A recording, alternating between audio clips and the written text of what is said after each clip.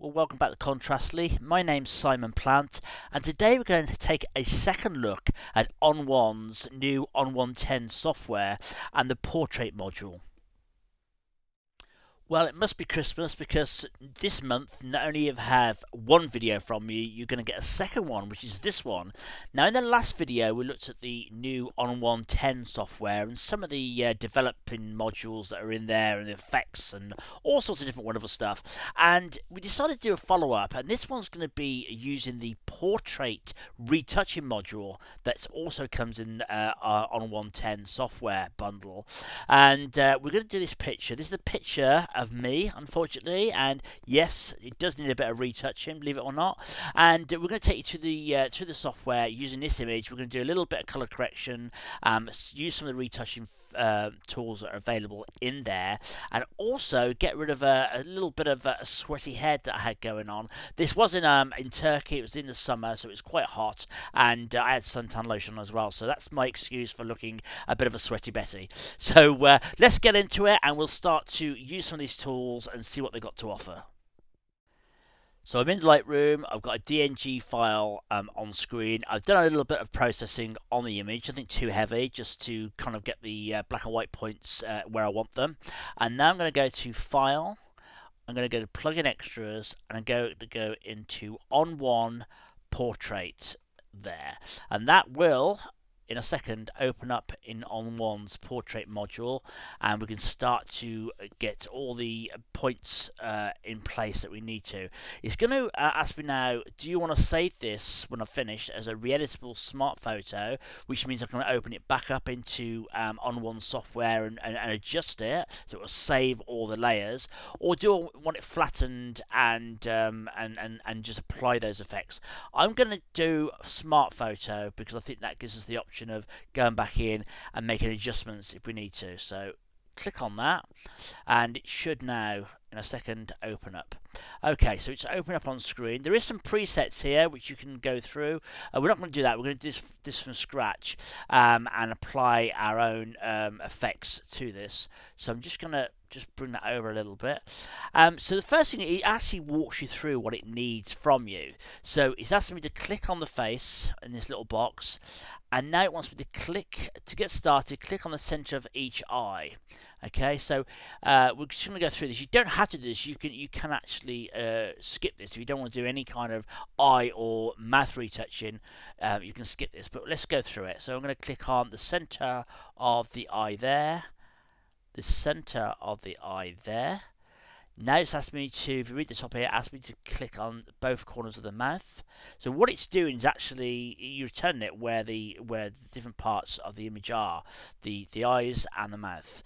So once we do that, um, you can now drag to adjust these points. So basically, in a second, we can go in and readjust these if need be. So we don't need to for a second. I'm just going to try and get a bit more real estate up on screen. Let's just open this up a bit, like so. Okay, so let's just drag our preview across. Um, we can press done. So that's telling us, telling the software that we've now mapped the bits that we need. So now you can see a preview of the eyes and the mouth. If we're not happy with those, which I'm not, we can just start to drag these points in to give ourselves the shape we want of the mouth. Done a pretty good job, but it's just not quite perfect enough. Same on the eyes. These tools are to adjust the the clarity of the eyes and the brightness of the eyes. So we don't really want to be going over the, the skin there. So I'm just going to bring that in like so. And then just the bottom as well to get that curve right. Now, you it's already applied some adjustments, a default adjustment to these. I don't actually want to, well, let's, let's walk through it. I don't actually want to do any adjustments on my mouth. The the mouth, um, down the bottom here, you've got the mouth section. It's for whitening the teeth. So if I just drop this down, you can see that on screen. If you look down here on screen, so let's just whitening the teeth or dropping it. I don't want to look like Bugs Bunny uh, and have my, people's eyes drawn too far to that. So I'm going to allow it to brighten my teeth a little bit, but not too much. So contrast drop, drop that down to 21. The vibrance for the mouth is basically if you've got a model with red lipstick on and you really want to make that lipstick pop, you can bring this up and really make them, uh, you know, really pop and little more saturation to them. Uh, but obviously, I've got, I haven't got lipstick on, and so I don't really want to look like I have. So I'm going to turn that one off completely. Um, the eyes and mouth, okay, same sort of thing here. The whitening is to whiten up the eye eye whites there. If you go too far, it's going to look stupid. Um, so again, I'm going to drop that down a little bit. If you turn it off, that's before. I'm just going to bring it up a little bit, maybe somewhere around there. The detail, as I said, it's like um, it's like a clarity slider in Lightroom. It's like um, uh, which increases the contrast of the midtones. That's how I see it, and it's gonna just like sharpen the eyes. And if I go too far, as you can see, it just looks ridiculous again. So just be aware. You don't want to go too far with these tools uh, and make it uh, look too ridiculous. So I'm just gonna bring that up a little bit, like so. And with a portrait, the eyes are the most important probably bit in the image, so you do want to draw attention to those areas, but uh, just have a bit of restraint. Um, so I've just done those to get them out of the way, really. So um, now we're going to move on to the skin. Now, if this box is ticked face only, what that will do, the software will just try and just affect just the face if you've got a model um, or a guy with a vest on and you want to retouch the skin on the shoulders and stuff, you can untick this and it will it will try and obviously um, get that skin as well on the shoulders, etc. But in this image, I only want to concentrate on the face. So I'm going to leave that ticked.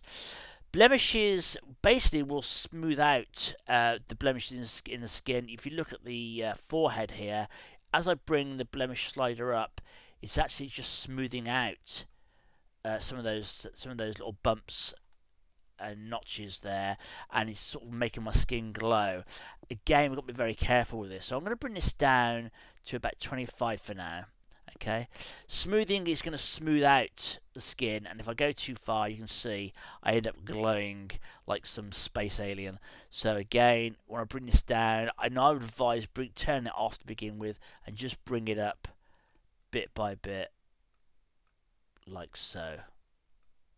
don't want to go too far. So that's not looking too bad.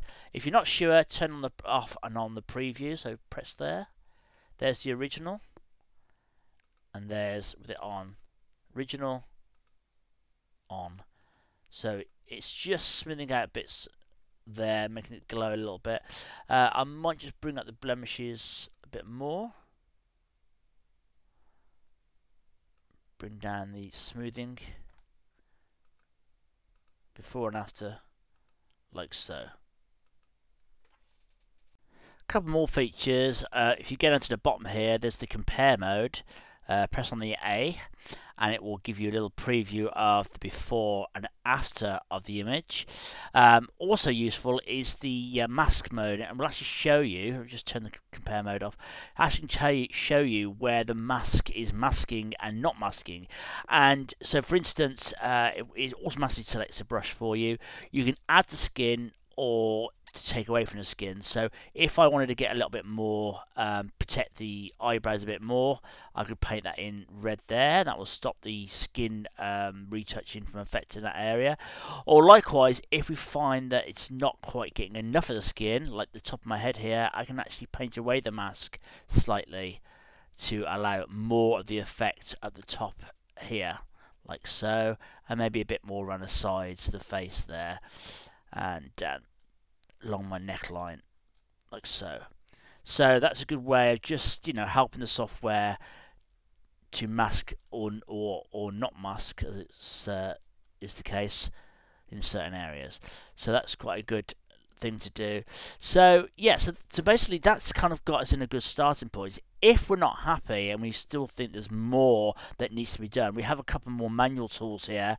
We've got this one here, which is the, um, I think the Magic Eraser, I think they call it. It's uh, very much like the Content, Perfect Eraser, sorry. It's more like, like the Content Aware tool within within um, within Photoshop. So we literally just uh, select that and then we can paint along some of these lines.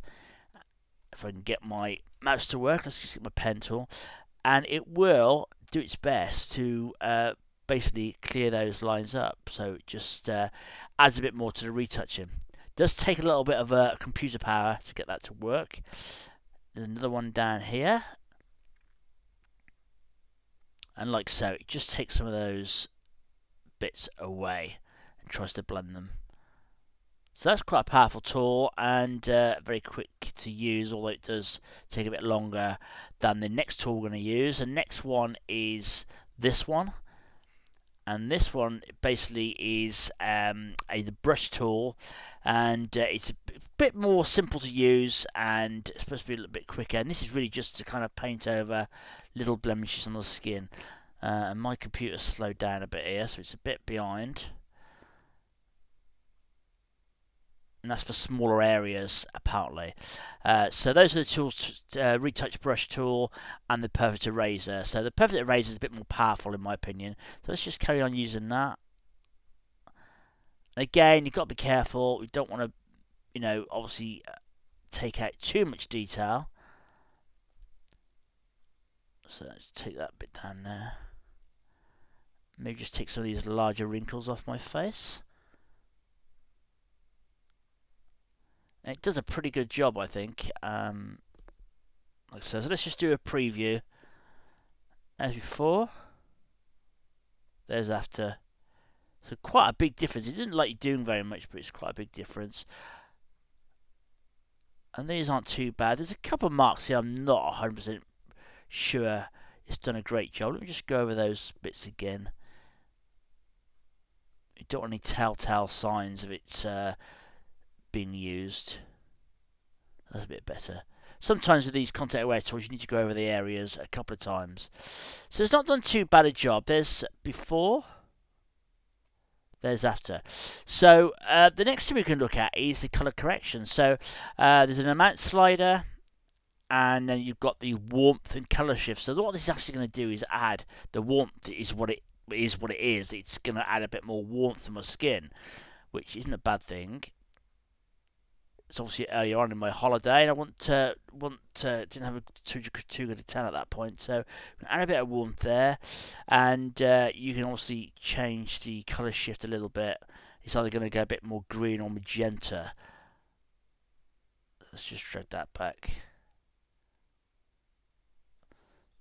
Uh, somewhere around there doesn't look too bad. Again, preview before, after.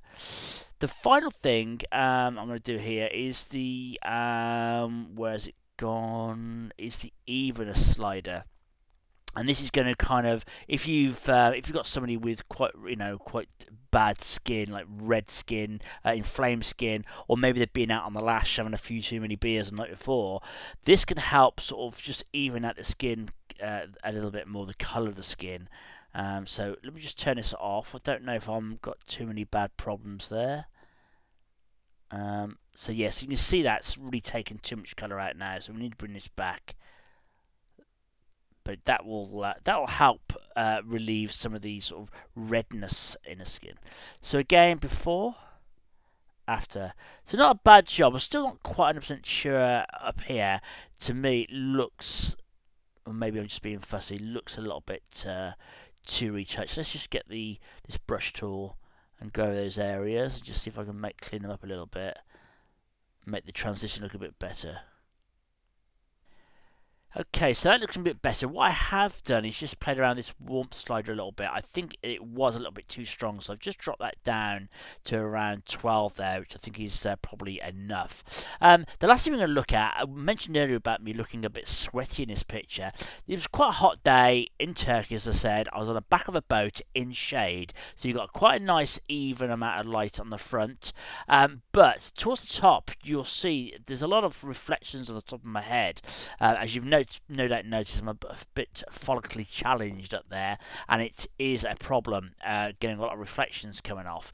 And uh, so what we're going to do is we've got a, a, function in here called shine. Now it's not particularly meant for this uh, particular problem, but it will help uh, take some of the kind of hot spots off the top of the head there. So I'm just going to drag this across so we can have a look. If I bring it too far, you can see this has got this quite nasty transition. Uh, so we don't want to go too far with it, but it just might help take a little bit of uh, that gloss, glossy look off the top of my head. And somewhere around there, let me just turn it off and turn it up a little bit. I think it's helping a little bit. It's not uh, not brilliant, but it, it's designed to take sort of uh, those kind of very hot spots off your skin. So uh, a perfect example, I think this image is on that. That's just helping that blend a little bit better. Let's just have a look at before and after. Before, after. So you can see around here where you got that transition. Um, there's after and before. So I think that's helped quite a bit. I do look definitely less sweaty in that picture. So there you go. So that's done a pretty good job. What I'm going to do now is show you an, a, a almost identical image. Um, it was it was done a little bit uh, a while ago. It was for another tutorial actually about using the frequency separation and also about alleviating this very problem about sort of these hot spots on the head. But I thought it might be quite a nice idea to, to compare the two. So let's apply this and we'll go back into Lightroom. Okay, so we're back in Lightroom and I've got the DNG file, the original file was started out from on screen, and I've got the image that's come back out of the uh, ON1 portrait module that the work we've just done on. So you can see there's quite a big difference there. Uh, we've got rid of that uh, sort of hot, sweaty forehead, which is uh, a good look, or better look, I should say. So that's um, that's helped a little bit, and we've just very subtly taken some of these kind of wrinkles out the top of my head, and uh, it's not done a bad job at all. I'm going to just open up Photoshop now. I'm going to show you another image, which is this one. It's not really fair to do a direct comparison because obviously I developed it slightly different and it's warmer and more saturated, whereas this is a slightly different look. But I want to show the layers involved in doing what is a very similar thing, but manually within Photoshop. So let me just go in and open this up. So here's the image. Um, as I said, this is a, for another tutorial a, a, while ago I did on, on the very similar, or it might even be the same image.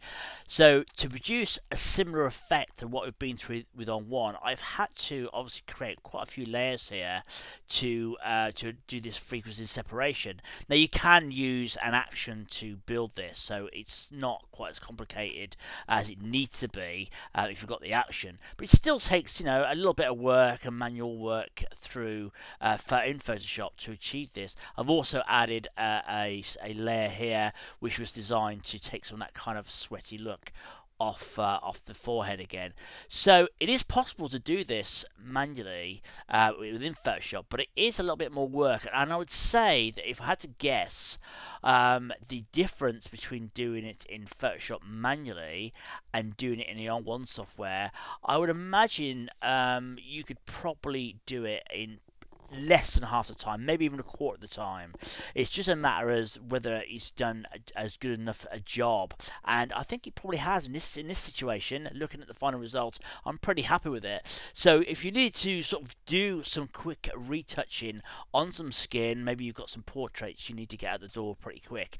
This would be definitely worth a look. Uh, I think it's very powerful bit of uh, bit of software uh, for that. So uh, yeah, I'm pretty happy with it. So I hope that's giving you a bit of an overview overview of that, that module within the ON1 10 software. Um, but as I said before in the previous video, you can download a 60 day trial of the software, so you've got no excuses to not give it a roll yourself. Thanks for watching. If I don't speak to you before, have a great Christmas, and I'll hope to catch you again with a new video in the new year. Cheers!